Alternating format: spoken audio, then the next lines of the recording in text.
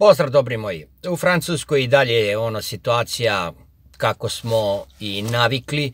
Znači protesti su na sve strane i otramer prekomerske zemlje koje i također Francuska, Guadalupe, Mayotte eh, i ostale Guajana, Tahiti i tamo se ljudi bune ovaj, jer isti je razlog, isto je sve, isti je zakon, isto je deo Francuske, također krvavi sukobi između bolničara i policije i žandarmerije, ima četiri teško povređena, tako da jednostavno to je svakodnevnica u Francuskoj, ali verovatno vi to ne znate jer uh, majstri mediji ne pričaju o tim stvarima. Jednostavno kao da se to ne dešava u Francuskoj.